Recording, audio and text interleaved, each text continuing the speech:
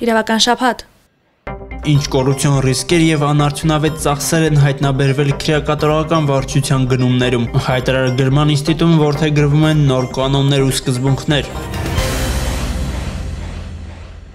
Կոռուպցիոն մեծ ռիսկեր են պարունակում քրեակատարողական վարչության կողմից իրականացվող գնումների գործընթացում եւ նյութատեխնիկական միջոցների բաշխման եւ կառավարման հարցերում։ Այս մասին են վկայում քրեակատարողական հիմնարկներում հասարակական վերահսկողություն իրականացնող դիտորդների խումբը վերջերս հրապարակած 2014-2015 թվականների վերաբերյալ հաշվետվությունում։ Մանրամասները Աստղիկ Կարապետյանի ռեպորտաժում։ Քրեակատարողական վարչությունը կալանավորների սննդի ձեռքբերման հարցում կատարում է անարդյունավետ ծախսեր եւ ռիսկային գործարքներ։ Այս մասին պնդումներ կան քրեակատարողական հիմնարկներում վերահսկողություն իրականացնող դիտորդների հաշվետվության մեջ։ Դիտորդական խումբը քրեակատարողական հիմնարկներում բազմաթիվ անգամ արձանագրել է, որ մեծ քանակությամբ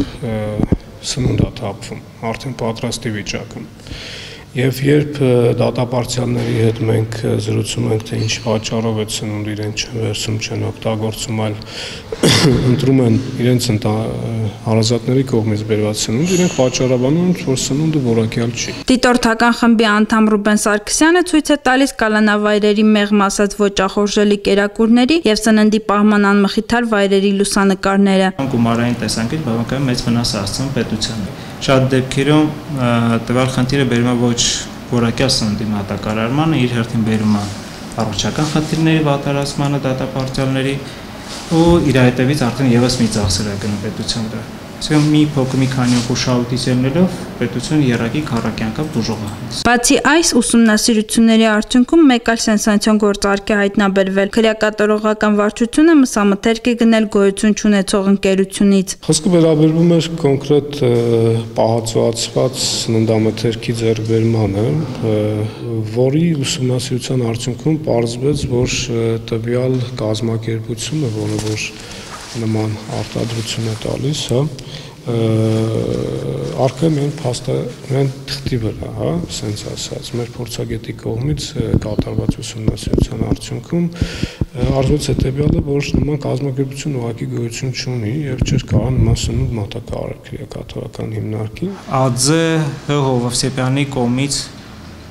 գրանցված ԱՁ-ն է, որը մատակարարել տվյալ սնունդը, որը գրանցված է քաղաք Երևան Արցախ 57 հասցեում առաջին հետաքրված հետաքրականը արդյոք նա ուներ տվյալ տեխնիկական հնարավորություն որ միս բաղացվեր բավական մեծ քանակության մասին է խոսքը գնում հետո եւ երկրորդ հարցինքը գոյություն չունեցել ոնց է դա արել Ռիսկային գործարքներ են եղել նաև հիգիենայի պարագաների գնման դեպքում։ Հաշվետվությունում նշվում է, որ հասկանալի չէ, թե ինչու է Երևանի քրեակատարողական հիմնարկում, որը 2014 թվականի ապրիլի չի շահագործվում, այնտեղ դատապարտյալներ չեն պահվում ատամի խոզանակի մեկանգամյա սափրման սարքի լվացող նյութերի ծախսը մի քանի անգամ գերազանցում այլ քրեակատարողական հիմնարկների համանման ծախսերին, որտեղ նույն ուղություններով ծախսերը ազատազրկվածների խիստ ավելի բարձր մակարդակի պարագայում համեմատաբար ավելի ավելի քիչ են։ Դիտորդները նաև այլ օրինակներ են բերում։ Դատապարտյալները այն հիգիենայի պարագաները, որը որ տրամադրում է քրեակատարական հիմնարկը պետություն, իրենք ուղղակի օգտվում են այն ծայրահեղ վիճակում, հա, որովհետև որակի առումով խնդիրներ կան։ Մենք զեկույցի մեջ անգամ նկարներն էին հրապարակել կոնկրետ ատամի մածուկի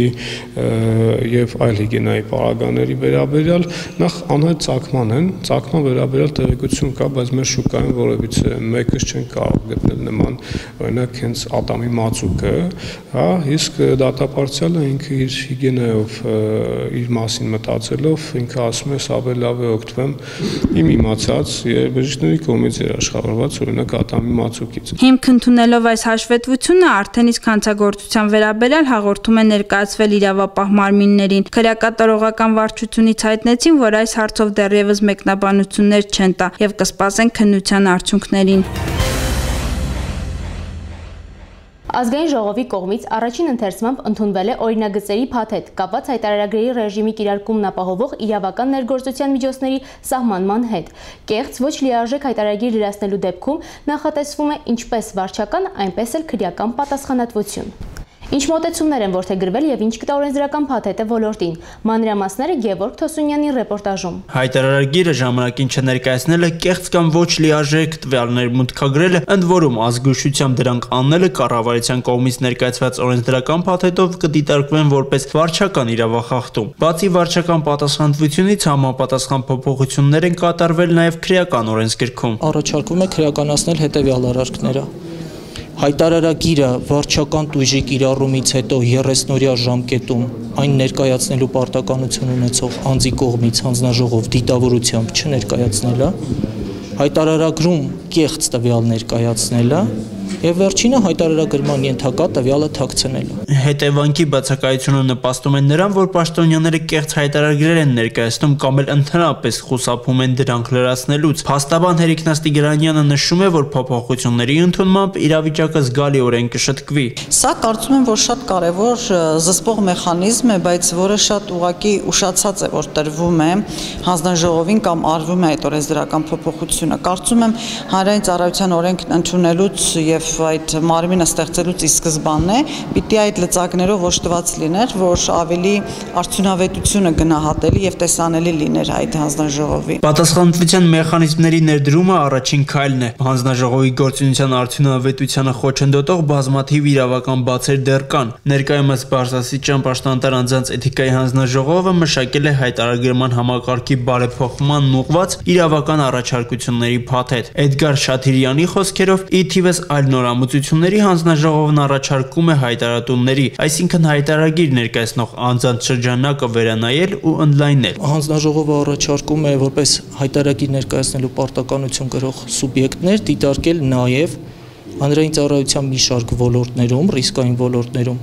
պաշտոնների առանձին խմբերում ընդգրկված սուբյեկտերին, այսինքն նրանց եւս ներառել հայտարարատուների ցուցակում։ Որպես ռիսկային դիտարկում են ոստիկանության եւ պետական եկամուտների կոմիտեի պաշտոնյաները։ Փաստաբան Հերիկնաս Տիգրանյանն էլ գտնում է, որ առ այսօր անլուծելի է մնացել պաշտոնյաների կողմից ձեռնարկատիրական գործունեությամբ զբաղվելու խնդիրը։ Ինչ է ձեռնարկատիրական գործունեությունը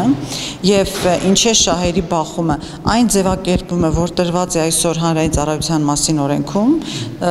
շահերի բախումը բախում երբևէ իրականում տեղի ունենալ չի կարող, որովհետև ձևակերպումը չի համապատասխանում մեծ ծանոթ Եվրախորհրդի փաստաթղթերում արձանագրված շահերի բախմանը կամ ասենք ՏՀԶԿ-ի շրջանակում տրված ձևակերպմանը։ Իսկ մյուս կողմից տեսեք նույն հանրային ծառայության մասին օրենքը հստակ սահմանում է, որ պաշտոնյան իր բաժնեմասը կամ մասը հանձնում է հավատարմագրային կառավարման։ Այսինքն հաջորդ խնդիրը ելի կարծում եմ, որ օրենսդրական է, հենց հանրային ծառայության օրենքի մեջ է, որ ավելի այսպես հարմարեցրել է թե ինչ է ձեռնարկատիրական գործունեությունը, որը հնարավորություն է տալիս պաշտոնյային հիմնել, ստեղծել, ունենալ առևտրային ընկերություն, բայց հանձնել ասենք ворթուն հավատարմագրային կառավարման եւ ասել, որ ինքը բիզնես չունի։ Ահա այն ինչ առանձնացրել է իրավական շփաթը ձեզ համար։ Իրացրեք իրազեկ լինելու ձեր իրավունքը։ Կհանդիպենք մյուս շփաթ։